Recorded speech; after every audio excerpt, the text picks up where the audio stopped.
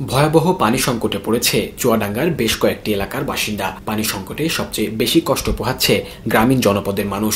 ধান কাটার পর তা সেদ্ধ করার জন্য যে পানি প্রয়োজন, তাও পাচ্ছেন না বলে জানিয়েছেন অনেকে। এমন অবস্থায় ব্যবহারযোগ্য পানি পেতে দশ থেকে বারো ফুট গর্ত খুঁড়ে বৈদ্যুতিক মোটর নামিয়ে পানি সংগ্রহ করছেন কেউ কেউ। গত চার মাস ধরে জেলা জুড়ে পানি সংকট দেখা দিলেও জনস্বাস্থ্য প্রকৌশল অধিদপ্তর বা জেলা উপজেলা প্রশাসন থেকে কার্যকর কোনো ব্যবস্থা নিতে দেখা যায়নি বলে অভিযোগ বাসিন্দাদের। ভূগর্ভস্থ পানির অতিরিক্ত অপব্যবহারের কারণে এই অবস্থার সৃষ্টি হয়েছে বলে জানাচ্ছে জনস্বাস্থ্য প্রকৌশল অধিদপ্তর। চুয়াডাঙ্গার দামুরহুদা উপজেলার বিভিন্ন এলাকা ঘুরে দেখা গেছে। বহু নলকূপে একেবারেই পানি উঠছে না। কিছু কিছু নলকূপে মিলছে সামান্য পরিমাণ। পানি কম ওঠায় এক স্থান থেকে নলকূপ সরিয়ে নতুন স্থানে বসিয়েছেন কেউ কেউ। তাতেও লাভের লাভ কিছুই হচ্ছে না। আমাদের কলে আজকে বিশ দিন থেকে কোনো পানি উঠছে না। তো এই পানির সংকটে পরিবার নিয়ে খুব কষ্টের জীবন কাটাচ্ছি। পানির এত সংকট, পানি মানে কল খেচে খেচে মানে কোনো রকম এক ফুটো পানিও উঠছে না। মাস প্রায় দেড় মাস থেকে পানি উঠছে না। সকাল থেকে একেবারে মাগরিবের ইশারা বলতে বোরিংয়ে তো স্নান করা খাওয়া সব নিয়ে আসা হয়। খুব পানির কষ্ট। আমাদের পানির তো কষ্ট আমাদের আর কোনো কষ্ট নেই। টিউবওয়েলে দেড় মাস থেকে আমাদের পানি হচ্ছে না।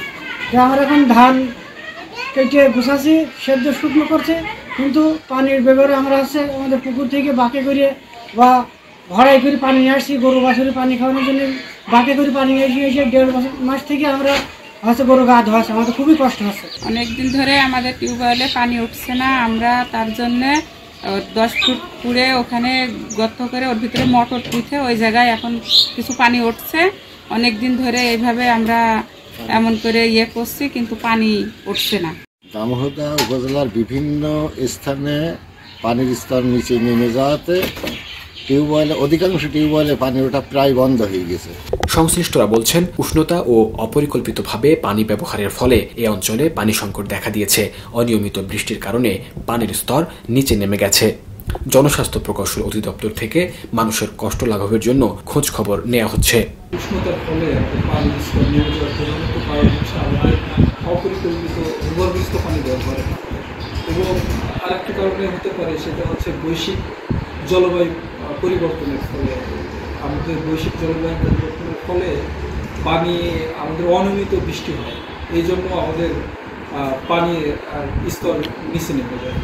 আমাদের জনস্বাস্থ্য প্রকৌশল অধিদপ্তরের পক্ষ থেকে এ- পর্যন্ত আমাদের চুয়াডাঙ্গা জেলায় বারো হাজারের অধিক অবধির নলকূপ এবং গভীর নলকূপ প্রায় সাড়ে তিন হাজার মতো আমাদের দেওয়া হয়েছে, যা চাহিদার তুলনায় অপ্রতুল।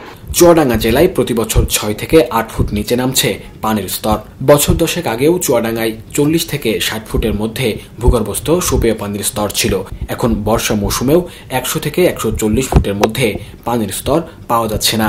অপরিকল্পিতভাবে শ্যালো মেশিন দিয়ে পানি তোলা এবং যত্রতত্র পুকুর খোঁড়ার কারণে খালবিল ভরাট হয়ে যাচ্ছে।